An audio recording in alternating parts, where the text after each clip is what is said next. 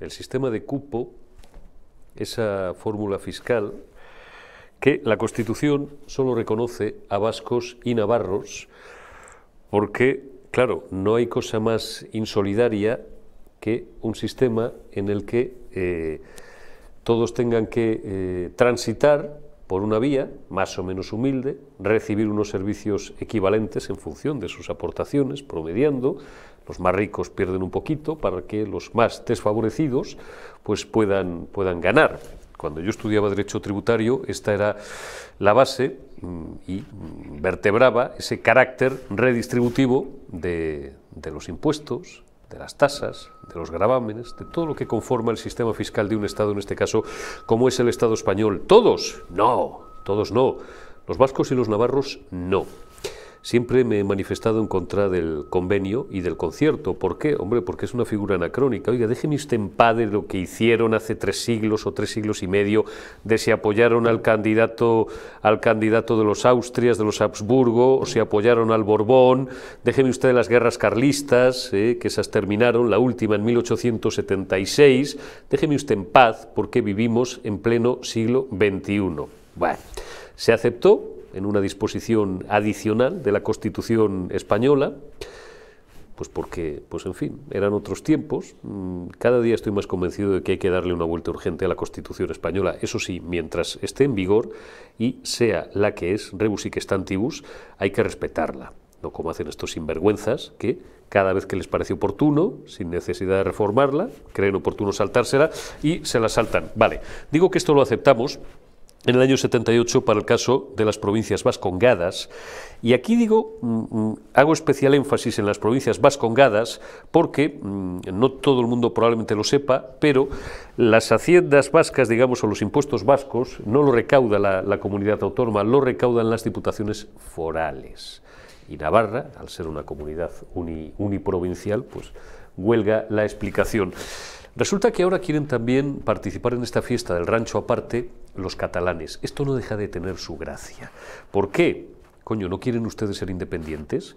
Entonces, ¿qué diablos están ustedes hablando, reivindicando, discutiendo, debatiendo, tratando de que se acepte una nueva forma de participación en la estructura fiscal del Estado español? Pero si se quieren ustedes ir, hombre, pues déjenos ustedes en paz, suéltenos el brazo, como le decía el otro, suélteme el brazo, señora. Pero si ustedes se quieren ir de España, ¿qué más les da entonces recaudar el 50, el 75, el 100%?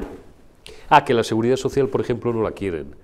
Claro, no la quieren, porque esa no es superavitaria, que va al contrario, esa es deficitaria. ¿Eh? como nos explicaba ayer en, otro formato, en la retaguardia, como nos explicaba ayer Mario García San Agustín, que algo de esto sabe, algo de esto sabe, ¿eh? porque además de haber sido eh, consejero de Hacienda de una comunidad autónoma, de la suya, de Aragón, durante dos años, ha sido en dos ocasiones secretario de Estado, ha sido portavoz adjunto del Grupo Popular y sobre todo desde el punto de vista técnico fue el inspector de finanzas más joven del Estado, con 23 años. Algo digo de la estructura fiscal del Estado español sabe. Y entonces nos explicaba y hago mía la explicación porque él lo desarrolla muchísimo mejor que yo, evidentemente que sí, el papelito lo tendrán que, rellenar en, vascuence o en, o en éuscaro, ¿eh? pero la pasta para pagar a los pensionistas del País Vasco la pondrá la caja, la caja central. ¿Qué jeta tienen estos tíos? Y sobre todo es enternecedor, y saludo ya inmediatamente, porque no quiero hacerlo esperar más tiempo a John de Zulueta, a nuestro primer invitado, ¿qué jeta tienen estos tíos? Sobre todo es enternecedor, digo, escuchar, como escuché ayer algunos portavoces de Esquerra, cuyo nombre prefiero olvidar, para, para, para, para que no nos den más lástima, clamar y lloriquear contra la insolidaridad de vascos y navarros.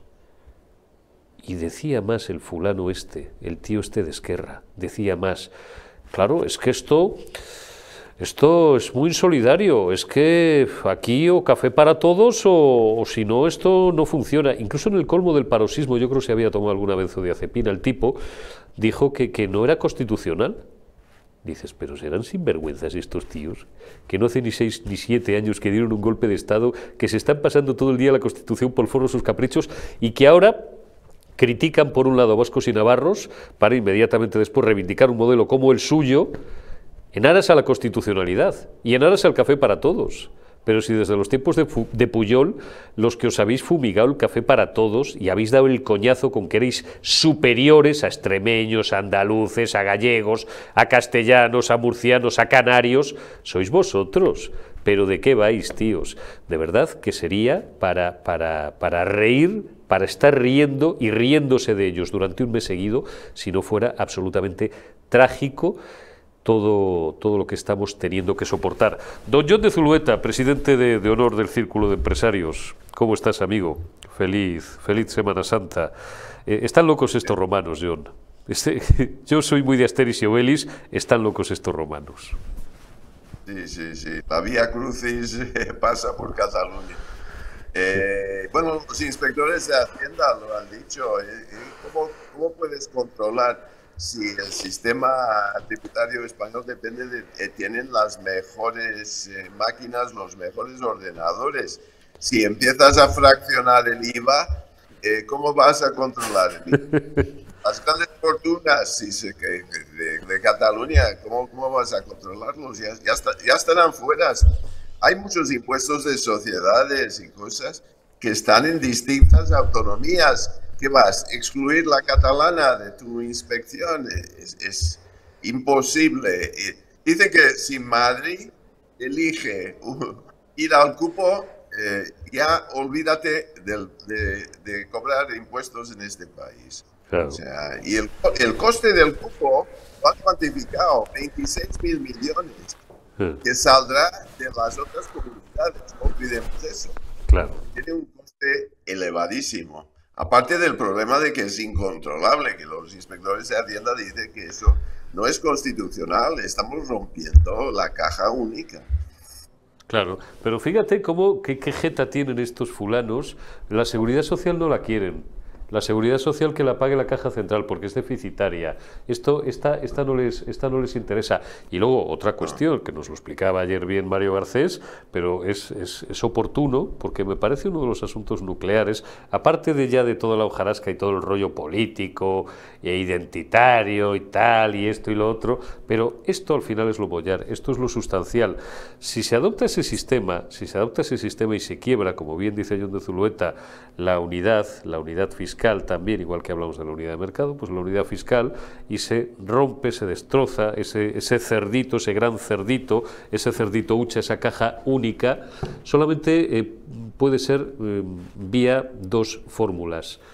O las comunidades de régimen común, que se dice así en términos fiscales, pierden o aportan más eligen ustedes la que les convenga, pero no hay otra, porque no es ideología, como decía, parafraseando aquel, aquel gran asesor, creo que era de Bill Clinton, la economía estúpidos, la economía, bueno, pues yo a veces eh, he retocado un poco la frase y digo, no es ideología estúpidos, son matemáticas.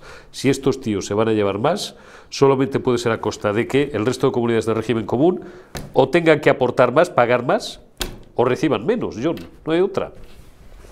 No, no hay otra. Y mis amigos empresarios catalanes dicen, mira, ya hablan de independencia, ¿no? Y repiten autodeterminación y todo, pero eso es, eso es cara a la galería, eso es para coger votos.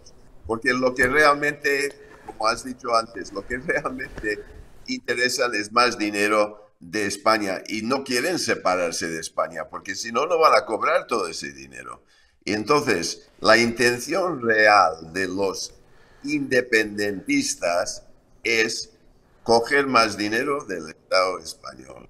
Y eso es a través del cupo, a través de cualquier manera de chupar más dinero del gobierno central.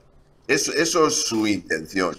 Y dicen ahora mismo que el referéndum, aunque hablan mucho de tener y pedir un referéndum, que no tienen más de 42% de votos a favor de independencia y que el referéndum sería un desastre y tardarían cinco años en tener un segundo referéndum, lo que pasó en Quebec, en Canadá, que fueron dos veces. Hmm. Eh, lo que dicen y lo que quieren son dos cosas. Y lo que dicen, independencia, referéndum, olvídalo. Eso es para la galería, para las elecciones. Lo que quieren es el cupo. Quieren más dinero del Estado e independencia ellos para gastar el dinero como quieren. Eso, eso es el, tema. y eso es lo que dice el empresario. Claro. Mira, ahí tienes, ahí tienes, cortesía de, de, la agencia de noticias Europa Press, ahí tienes a esta chica con cara también un poco de... Tiene un poco Em, uy, es que, joder, aquí tienes que tener un cuidado porque iba a hacer un símil cariñoso, iba a decir que tiene morrito de, pero, pero inmediatamente te tachan aquí de sexista o de cosas peores. Bueno, lo voy a dejar en Esther Peña, la nueva portavoz, esta chica de Burgos que tienen los, los socialistas, que dijo muy seria el pasado, creo que fue el pasado lunes, el Partido Socialista niega estar negociando un referéndum, como dice Esquerra, y lo ciñe a su pugna con Junts por ser el más independentista. Oye, John, que tengo yo para mí que a estos tíos hay que leerlos en negativo. Eh, igual que había una canción... Eh, había una canción eh, de Joaquín Sabina, y lamento no recordar quién, quién, era el otro maravilloso intérprete, me saldrá, que decía, hay mujeres que dicen que sí, hay hombres también, ¿eh? hay mujeres que dicen que sí cuando dicen que no, estos pasa lo mismo, estos cuando dicen que no es que dicen que sí, o sea que si dice la portavoz oficial del Partido Socialista Obrero Español que no va a haber referéndum, John, es que va a haber referéndum. Ahora sí que ya lo tenemos clarísimo.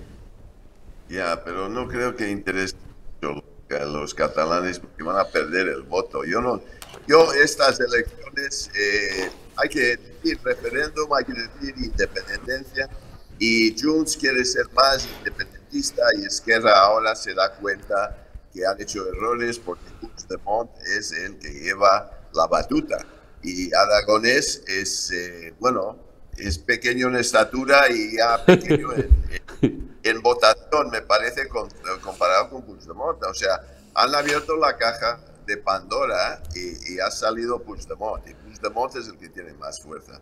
Pero no, el referéndum no les interesa de verdad. Independencia y hablar de ir a volver a la cárcel y todo eso, yo creo que es para la galería. Lo que les interesa es el cupo. Lo que les interesa es más. La pasta. Van a chupar como que juelas a Sánchez para toda la pasta que pueden conseguir. Y en las elecciones del 12 de mayo yo auguro mal resultado para Salvadorilla, porque el candidato del PSC está con, eh, bueno, vamos a decir, está con fango por todas partes por aquellos contratos. Hoy sale otra y siempre son con, con empresas con nombres eh, americanas, inglesas, ¿no? El Member of the Tribe, eh, ¿te acuerdas de esa, Eurico? Member of the Tribe era 5 millones, eh, una empresa de prendas textiles donde pidió 52 millones de guantes de nitrilo sí. que nunca, nunca llegaron. bueno, esta empresa está en liquidación ahora mismo se formó unos meses antes del COVID eh, o, el principio del COVID y desapareció ya.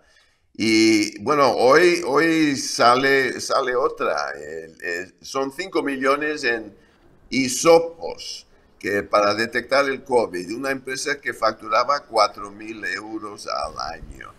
Y el 17 de abril del 2020, Ilia pide, se llama Value and Grow SL y pide a estos eh, isopos y que tampoco les entregan. Y luego 9 millones a Danbury Enterprises en Chipre, un despacho de abogados en Chipre, donde les pagas 70 céntimos por guante cuando están comprando guantes aquí en España por 2 céntimos el guante.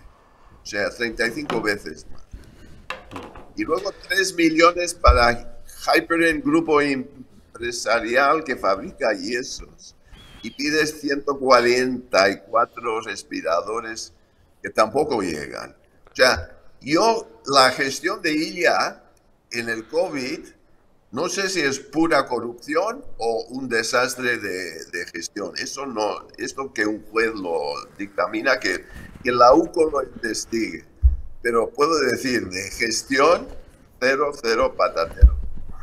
Oye, y a esta gentuza, y matizo, matizo, cuidado, fiscalía, cuidado, matizo, no me estoy refiriendo al señorilla, hablo en general a algunas personas que podían tener, eh, bueno, pues atribuciones acerca, o sobre la concesión de determinados contratos públicos, en este caso para una contrapartida que era absolutamente necesaria en unos tiempos donde, recuérdese, morían mil, mil cien españoles al día, una maldita salvajada que no hemos visto nunca, ni en tiempos de guerra, ni en tiempos de guerra ha muerto tanta gente en España, ni en la guerra civil, casi, que duró dos años y medio, no llegó a tres, murió tanta gente en términos absolutos puede ser, pero proporcionalmente no, porque no hubo más de 300.000 muertos. El millón de muertos es una obra, como todo el mundo sabe, de Gironella, un título y nada más. Aquí, según cifras eh, oficiales 100, 120.000, según cifras oficiosas, las más generosas 150.000 o 200.000. Bien, digo que todos los que tenían capacidad de decidir, o algunos de ellos, en aquellas fechas, a toda esta gentuza, igual que al novio de Ayuso le están triturando y le están asesinando civilmente, a toda esta gentuza no les pregunta la agencia tributaria, porque a lo mejor del análisis del patrimonio de algunos, porque estos no creéis que son gente muy sofisticada, los hay muy listos, pero los hay completamente gilipollas, que no se tapan, que, bueno, ya hemos visto uno, eh, este animal, ¿os acordáis? Que iba metiendo dinero negro y lo iba metiendo en el cajero, en una cuenta corriente a la vista, en un depósito a la vista. Es decir, que no hay nadie en casa, o sea, son imbéciles hasta para robar. La agencia tributaria no, no sé, no podía pegarle un barrido al patrimonio de más de uno. John, son preguntas que, y fijaos, sigo sin dar ningún nombre, ¿eh? no sea que, pero son preguntas que yo me hago a veces. Bueno, el, juez Ismael Moreno ha bloqueado 8 millones eh, de, activos de, de de Aldama, por lo, por lo menos empezamos eh, eh ver un poco dónde llega todo lo de Avaló, Fondos, Víctor de Aldama, 8 millones bloqueados, él está quejando con su abogado que, que no deberían bloquear sus, eh, sus posesiones, eh, una casa en Valdebebas en Madrid, otra en La Moraleja, eh, un Ferrari F12 que cuesta 350 mil euros, el, ah. el, mejor de sus seis coches, porque mira, tenía eh, Porsche, tenía Audi, cositas Range Rover, cositas normales, ¿eh? Sí. Pero un Ferrari F12 ya, son palabras mayores. Sí, yo... yo... de los 8 millones bloqueados, cuando el, pobre, el pobre eh, pareja de, Ayuso, el novio de Ayuso, eh, está criticando. Bueno, es, es, eh, es, increíble la basura que tira el, el PSOE en defensa eh, de sus intereses en este momento y los inventos que han encontrado apoyo en, medios que han pagado y han conseguido. es lamentable. Estos son muy, son muy horteras, además, porque, porque fíjate, yo, a ver, es parte de ironía, parte de ironía hay, ¿eh? lo otro no, lo otro realidad. A mí me ofrecieron también un Ferrari y un Maserati hace 23, 24 años y dije yo, uy, quita, quita, lo incómodo que es esto para aparcar en Madrid, esto no hay un Dios que, que esto es para para San Tropez o para la costa malfitana, pero, pero para Madrid esto es un coñazo y al final me decanté por un Mercedes 290 que vendí hace dos años porque y, lo lamento porque ya el ayuntamiento es del signo que conocéis, que desde luego es el que menos malo nos parece o el que más simpatías profesamos, directamente te ponían como el conejo en la diana, el conductor, y le disparaban, le disparaban vía multas, vía hacerte pagar hasta por, por respirar y por aparcar en, en, cualquier sitio, y porque te despistes un minuto en el ticket, ¡zas! Ya te la ha clavado ahí el Rottweiler eh, de los que suben y bajan, suben y bajan la calle. Eh, lo del Mercedes no es una broma, que lo vendí, lo de los Ferrari, lo de los Maserati, ¿por qué será? Y sobre todo, cuanto, cuanto la extracción social es más, me voy a poner elitista y ahora me pongo el chaleco antidisturbios, que disparen algunos contra mí. ¿Por qué cuanto más pobres, miserables y muertos de hambre han sido, más más intentan a partir de los... Esto es como el que aprende inglés, macho, y tú sabes que en este país esa deficiencia existe, John, como los, el español que aprende inglés a partir de los 40, siente la necesidad de gritarlo al mundo, ¿no? Pues es como el tío que le toca una boroloto o roba ahí lo que no está en los escritos, pega ahí tres pelotazos buenos y se tiene que comprar un Ferrari un Maserati, cuando, vamos, yo tenía entendido que una de las primeras máximas, regla de oro, tío, no destaques, sigue llevando la misma vida, no llames la atención ni de los malos ni de los de Guzmán el bueno, no sea que, que dentro de un mes te estén esperando en una esquina y te hagan un par de preguntas. Pero todos caen por ahí. La ostentación, John, esto es muy español. Seis coches, ¿cómo puedes usar seis coches? es que pones rotación, ¿no? Uno por semana. Es, Sí. es, Sí, sí, sí. es penoso, es penoso, en fin, todo, pero todo, todo liga, todo, se- se- estamos desatando las cuerdas ahora, todo pasa por, eh, por República Dominicana, eh, todo pasa por los Ferraris, todo, todo empieza a salir, todo ah, esa basura Sí. y corrupción. Ese es el gobierno eh, más corrupto desde, desde la democracia. Se, se- se está viendo ahora las tripas de ese gobierno. Así es, toda la basura, estoy muy de acuerdo contigo, John, toda la basura pasa por la República Dominicana y cuidado que eh, los vasos comunicantes entre todas las tramas, porque ya sabéis, no quiero, no quiero involucrar en esta conversación que es meramente política nombres como, como el del señor Rubiales, presidente que lo fue de la Federación Española de Fútbol, otros nombres, pero oye, es que se conocían entre todos, República Dominicana debe ser como una corrala de vecinos, ahí deben de estar todos juntos todo el día en dos o, todo el día en dos o tres locales tomando copas entre y haciendo negocios entre ellos y, y el círculo, todos los círculos se van, se van cerrando. De modo y manera, y con esto te despido John, que yo creo que eh, quedan cosas por salir, probablemente incluso a lo mejor mucho más gruesas de las que hemos conocido, pero al final nos vamos, nos vamos a divertir porque como decían en mi pueblo, con perdón, que nadie se ofenda ni se dé por aludido, a todo santo le llega su día, o si os gusta el refrán un poco más duro, a todo cerdo le llega su San Martín. Esto lo decimos mucho en Castilla, John. Exacto. Mientras esté ahí en la playa, eh, en su hotel que ha comprado para blanquear dinero en República Dominicana. Vaya lío, vaya lío. John de Zulueta, oye, que espero que te dejen descansar estos días de Semana Santa y espero que los pases, como decimos aquí también, que los pases bien y en familia. Y que descanses, que, que te necesitamos. Esto te lo digo a ti y a, y a unos a unos a un puñado de, de nuestros invitados VIP, que sois los, los favoritos de, de la audiencia. Descansad, que, que, que sois una fuerza de la naturaleza y no podemos dejar que os marchitéis, John. Y que lo pases muy bien ahí en Andalucía. ¿eh? Ya te contaré, te enviaré fotos del puente, que lo llaman de una forma muy fea.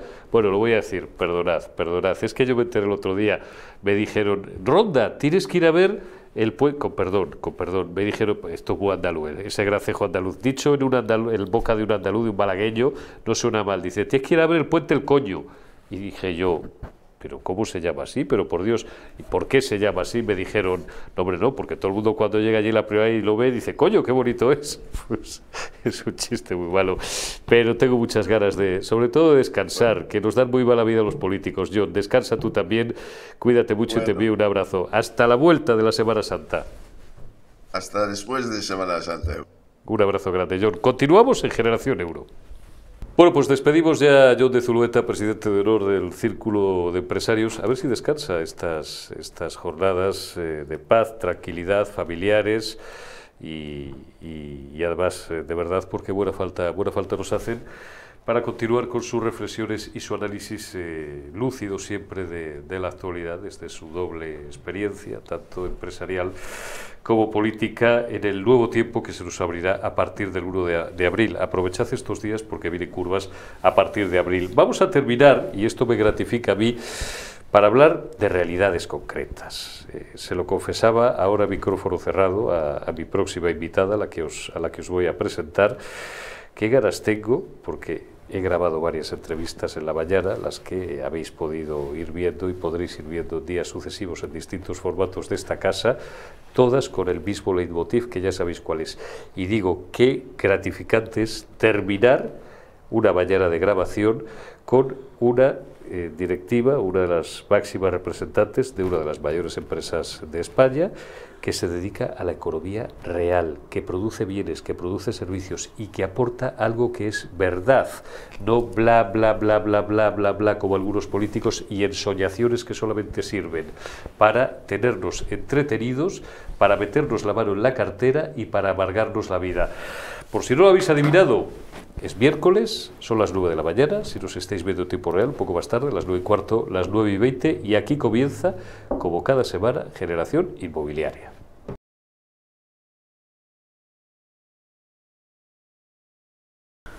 Generación Inmobiliaria hoy con Cristina Luna, que es directora de marca y promociones de obra nueva de Gilbar. Hola. Muy buenos días, buenas Buenos tardes, días. buenas noches, en función de cuándo recuperen nuestros espectadores este enlace. Es un placer tenerte aquí, porque Igualmente. no habías estado nunca en los No, estudios no de, había estado nunca. de periodista digital. estoy encantada. Bueno, pues eres, como digo, nuestro remanso de paz porque Gilbar pues, es una de las mayores empresas y de las mayores corporaciones empresariales de España y produce, aporta algo a la vida real, a la economía real, ¿no? como, como os digo, de los políticos. Vamos a hablar hoy de obra nueva. Teníamos preparado una primera pregunta, ¿cómo va el mercado de la obra nueva en nuestro país? Pero lo primero, porque a lo mejor no todo el mundo, Cristina, te voy a pedir una especie de introito con una especie de, de input cero, ¿qué es la obra nueva exactamente? Pues ¿De la qué obra hablamos nueva cuando es el hablamos de obra nueva? desarrollo de viviendas que mm, son nuevas, se construyen de primera, de- para, para el uso de primera mano. Vale. Em, bueno, em, y eso es la obra nueva. Ay, no, no, perdóname, te iba a disparar la segunda y, y me había escogido mirando, mirando, al, mirando al monitor, mirando a la cámara. ¿Cómo va el mercado de obra nueva en España? Pues mira, que es, el digamos, el, el punto de arranque real de la conversación. En Gilmar la, la percepción que estamos teniendo es que hay un movimiento y un eh, interés tremendo en la obra nueva. Eh, es verdad que se ven tendencias que varían en función de las zonas. Eh, por ejemplo, eh, todo lo que es Madrid Centro se detecta una tendencia de creación de producto más destinado al inversor, con tipología de vivienda de uno y dos dormitorios. Sin embargo, cuando sales un poco de- del Madrid Central, eh, la tipología de vivienda cambia, hay más dormitorios, es más destinada a la familia. Y en Costa te encuentras toda tipología de producto, mucha tendencia de unifamiliar, mucha tendencia de plurifamiliar, eh, de pequeño tamaño para inversor, de gran tamaño para familia. eh, pues la verdad es que más o menos esa es la tendencia actual que estamos viviendo nosotros. Y que está en pleno auge, ¿no? Porque no, no es, no es la primera, el, primer eh, representante de Gilmar que viene por aquí, efectivamente, que nos había hablado de esa tendencia en auge a, a- a- la costa, la ¿no? compra, sí. A la, a la compra y a la costa. Porque siempre decimos, claro, vivienda hay que tener, una vivienda es una necesidad de primerísima mano, la primera vivienda todos la tenemos que tener, pero sí, sí que es verdad que se está volviendo un poco a, a esa cultura que yo la asocio siempre con, con nuestros padres, de, de, bueno, pues adquirir una vivienda en, en la playa, ¿no? Y además fidelizarte con un sitio concreto, bonito, y una vivienda a la que, a la que mucha gente incluso plantea, plantea retirarse, ¿no? Lo cual también es bonito porque eh, también eso supongo que para una constructora como Gilmar vincula, vincula la marca, ¿no? Es decir, que, que el abuelo comprara una vivienda a Gilmar, Total. que el padre la compre, que el hijo, que el nieto la pueda comprar, eso os tiene que dar un orgullo muy grande. Bueno, eso al final eh, efectivamente eh, es orgullo, total, orgullo como marca y lo que dices que es comprar con Gilmar es un poco garantía de éxito, porque si no, no seguirías en el mercado 40 años después siendo totalmente líder. Así es, eh, desde ese punto de vista, eh, los periodistas sabes que vivimos de hacer frases hechas, ¿no? Podríamos decir que Gilmar pues, eh, puede ser o es uno de los elementos, eh, en el caso, o en- o en lo que tiene que ver con vivienda, que vertebran también la biografía no ya de personas, sino de familias. Háblame de algún proyecto en concreto de obra nueva que tengáis entre manos, algún proyecto estrella, o que os haga especialmente ilusión, o Pues que sea mira. el que os está ocupando en este momento. A mí hay un proyecto que, que me hace especial ilusión, se llama Pico Milano, está en Mirasierra, que al final es una zona súper familiar, súper tradicional. Y bueno, estamos desarrollando 15 viviendas eh, de gran tamaño, cada una con una parcela en torno a 800 metros cuadrados, pero con un diseño súper moderno, unas altísimas calidades, todo cuidadísimo. Tiene mm, todo grandes ventanales que unen todos los dormitorios en terraza, con unas vistas maravillosas a la Sierra de Madrid. Y para mí, quizá ese sea uno de los proyectos estrella de este año de, de Gilmar. Pues sabes lo que te digo, que cuando salga de aquí voy a ir, porque voy a ir a comer a casa de mis padres, que no viven muy lejos de ahí. ¿Por qué zona de Mirasierra? Si se puede saber. Para, digo, para los que estén familiarizados, Sí. no con la geografía urbana de Madrid, sino incluso con, con la de la zona norte de Madrid, con la de la zona justo noroeste. enfrente del colegio Monte Alto. Ah, correcto. Vale. Y es una gran parcela, vamos, es una de las mejores parcelas que hay en Mirasierra, por no decir la mejor. Sí, y además con unas vistas extraordinarias. extraordinarias. Bueno, es, es, ¿tenéis alguno más eh, también en, en, preparación o en...? Eh? Bueno, tenemos un montón de promociones, en Madrid tenemos un montón de promociones, pero también es destacable la superactividad que hay en Málaga. O sea, al final Málaga estos últimos años está siendo eh, la ciudad de moda totalmente en boga. Lo es, lo es. Está como un pincel Málaga. Total. Y hay todo tipo de desarrollos que a mí es algo que me resulta súper interesante porque tenemos desde producto para inversores eh, en un edificio en pleno centro histórico eh, que va a tener muchísima rotación de alquiler, hasta estamos desarrollando bastante también en, el Limonar, que es una zona eh, muy familiar y pues, típico barrio de toda la vida de allí. Y luego tenemos también otro tipo de promociones eh, distribuidas por, pues, por, toda la ciudad de Málaga, eh, pues que atienden a todo tipo de necesidades, desde pareja joven con uno o dos dormitorios hasta familia eh, con varios hijos, cuatro dormitorios. O sea, estamos teniendo mucha, mucha actividad en la ciudad de Málaga.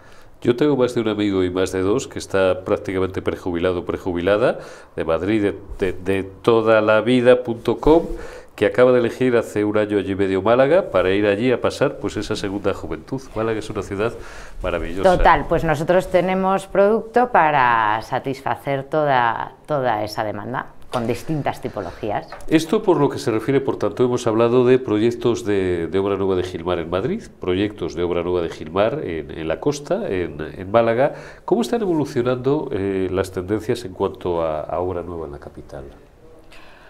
Bueno, yo es verdad que lo que detecto es que tendemos a tener viviendas en términos generales quizá de menor tamaño, em, pero sin embargo se le está dando una importancia tremenda a todas las dotaciones, a las zonas comunes, cosa que a lo mejor antes o históricamente no se le daba tanta, tanta relevancia. Ahora prácticamente la totalidad de las promociones tienen piscina, tienen eh, sala polivalente para hacer fiestas en la urbanización o cenas eh, en verano, tienen gimnasio.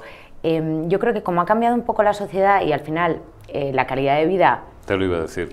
Totalmente. Se le da una importancia absoluta al cómo vivir y cómo disfrutar. Eh, pues se está desarrollando mucho en, esa línea de la zona común. ¿Esto se produce solamente en las construcciones, digamos, más de alta gama o también en las construcciones de menor valor?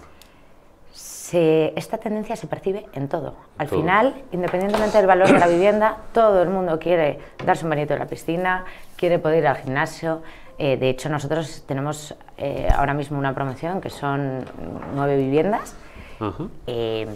Eh, no viviendas de altísimo valor y también cuentan con, su zona jardinada, con su piscinita, em, con todos esos servicios adicionales para la comunidad.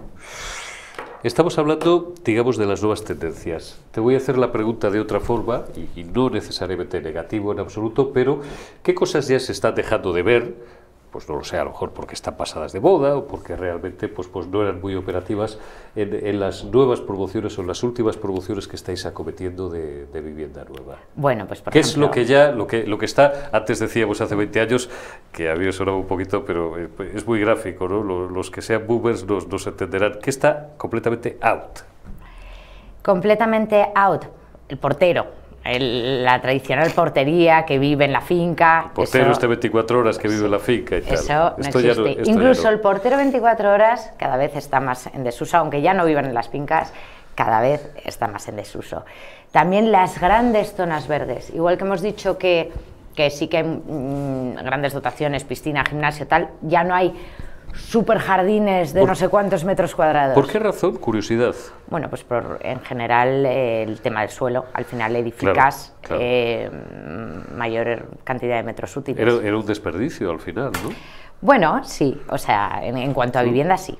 Desde el punto de vista práctico porque tú luego puedes tener, como dices, esas zonas comunes absolutamente imprescindibles que a lo mejor pues, pues, eh, pues se valoran más de cara también a esa calidad de vida. Efectivamente, un una piscina. Yo creo que va por ahí. O sea, al final es un tema de que se les da más uso eh, siendo piscina o siendo un gimnasio que siendo simplemente zona verde, que es maravilloso disfrutarlo, pero que, que tiene menos utilidad directa. Está claro. Oye, algo que está muy de moda y que puedo dejar de, preguntarte, bueno, muy de moda, algo que ya es una, realidad, todo el concepto de sostenibilidad. ¿En qué medida esto prima en la decisión de, eh, sobre todo los clientes más jóvenes, de los nuevos clientes, de que quiere acercarse a una obra nueva, no sé, a lo mejor incluso hacer su primera, su primera compra. Busco un ejemplo arquetipo y corrígeme porque a lo mejor está que hay otras mil posibilidades y otros mil formatos diferentes. No sé, una pareja se casa, obra nueva, va a Gilbar.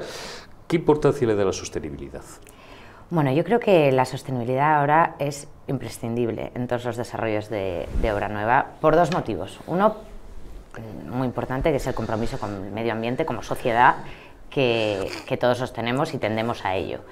Y otro también es el ahorro económico. O sea, el ahorro energético supone ahorro económico. Entonces, tener eh, mm, pues de acristalamiento, eh, electrodomésticos de, bajo consumo, todo eso al final mensualmente supone, un, bueno, y anualmente supone un gasto extra que si eh, tenemos ese compromiso eh, pues al final nos vemos beneficiados tanto la sociedad como nosotros individualmente. Así es, así es. Otra cuestión eh, muy de hoy, muy, muy de hoy, que, que hasta hace pues no muchos, no muchos años, ¿no? en España a lo mejor estaba menos introducida, solo para un sector muy, muy de lujo, pero que, en fin, cuando veíamos una, una película, sobre todo una serie americana, y veíamos un montón de cosas en domicilios maravillosos, domicilios particulares, pues, pues nos daba una envidia, pero vamos, que nos mordíamos las uñas hasta los codos. Concepto domótica, exigencia del nuevo cliente a las viviendas de obra nueva, de, de, de bueno, pues de las mayores novedades o, de las últimas tendencias en, materia de, domótica y cuáles serían a lo mejor los aspectos que, que, más puede buscar o, que pueden satisfacer a un cliente en este aspecto? Bueno, yo creo que al final la digitalización es algo evidente en todos los ámbitos de la vida, con lo cual dejarlo fuera de la vivienda no tendría ningún sentido. Em, nos hemos acostumbrado a controlar prácticamente el 100% de nuestra vida desde el móvil. ¿Por qué no hacerlo también con la vivienda? Eh, al final es mucho más sencillo y mucho más cómodo y estamos mucho más acostumbrados a que todo sea a golpe de clic, con lo cual bajar las persianas de casa, controlar la temperatura de la vivienda. Em, Esto es lo clásico, lo de... Bueno, eh, incluso controlar los electrodomésticos, que si tienes un poco de pericia lo haces también. Eh, entonces, al final em, tenemos que ofrecer a nuestros clientes esa posibilidad y por eso hoy en día en la obra nueva, en términos generales, suele haber domótica. O sea que te voy a hacer una pregunta, esta me, salto un poquito, me salto un poquito en la pauta que habíamos establecido, pero fíjate, hemos mencionado dos conceptos, sostenibilidad y domótica. ¿Podemos decir que eso tranquilamente puede ser a lo mejor, estoy improvisando, ¿eh? el 50% de la ponderación en el peso final de la decisión de un cliente a la hora de decidirse por una vivienda de una nueva u otra? Yo creo que sí que son detonantes. Pero es muy importante, ¿no? es muy importante, es muy importante. Al final luego tienes la particularidad de cada comprador que, oye, pues como a todos, a unos nos gusta, pues efectivamente, si soy súper deportista me gusta que haya gimnasio. Hay cosas puntuales que son eh, mm, personales. Y luego el diseño que entra por los ojos. Por supuesto, y sobre todo en la compra de una vivienda, es como lo que comentábamos antes de Pico Milano. A mí me encanta Pico Milano porque tiene un, diseño espectacular. zona, además. Efectivamente, es una zona maravillosa, etcétera, etcétera, pero luego es personal.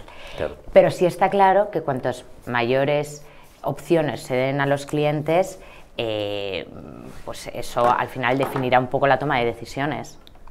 ¿Qué aporta Gilbar que no aporte otra, otra empresa, otra firma determinada? Pues mira, yo creo ¿O qué busca el cliente Gilbar? ¿Por qué al final el cliente elige Gilbar? Bueno, yo creo que el cliente eh, elige Gilmar porque, por la experiencia del cliente, porque al final Gilmar eh, te acompaña durante todo el proceso de compra, desde el principio al final. La compra inmobiliaria, em, pues hay muchos puntos de inflexión en los que se generan dudas, necesitas que te acompañen, necesitas asesoramiento y necesitas eh, una marca que te dé toda esa confianza. Y Gilmar lleva 40 años en el mercado, lo que se resume en que la da a los clientes. Y luego en parte en obra nueva, porque al final somos un estándar de, calidad. O sea, al final toda eh, promoción que comercializa Gilmar te está hablando de un nivel de calidad de, la propia promoción. Con lo cual es garantía. Está verdaderamente claro. Pues Cristina Luna, no sé si quieres, eh, anima, anima a nuestros espectadores a que, a que se acerquen a Gilbar, por lo menos, por si no lo habían pensado, pues porque a lo mejor resulta que encuentra la casa de su vida. Por supuesto. Y oye, la casa de, de tu vida es, no digo yo que vaya a ser más importante, pero es casi tan importante como encontrar al hombre de tu vida o a la mujer de tu vida. ¿eh? Totalmente de acuerdo. Porque te va a acompañar, te va a acompañar muchos años. Toda la vida, muchísimos años. Cristina Luna, directora de marca y promociones de Obra Nueva de, Gilbar, muchísimas gracias de verdad gracias. por haberte acercado a los estudios de periodista digital. La semana que viene vamos a tener la oportunidad de charlar con Juan Fraile. ¿Quién es Juan Fraile? Pues el responsable de todo lo que tiene que ver con obra rústica de Gilbar. Hoy hemos hablado de obra nueva y los que tenemos pueblo, tenemos la suerte de haber nacido y vivido la mayor parte del tiempo en una ciudad como Madrid, pero tenemos pueblo y somos apasionados de, a veces salir de, las grandes urbes ¿no? para, para, desconectar, o quién sabe si andando el tiempo para planteárnoslo como proyecto de vida, pues ese concepto también de vivienda y de finca rústica nos encanta. Estaremos con Juan Fraile, director de, todo lo que tiene que ver con, con estos, con estos aspectos en, Gilbar. Gracias por habernos acompañado y ahora sí que nos despedimos en Generación Euro hasta el lunes de la, de la semana que viene. Cuidaros, disfrutad de esta Semana Santa y sed buenos y temerosos de Dios y sobre todo recargar pilas, que a partir del 1 de abril vienen curvas.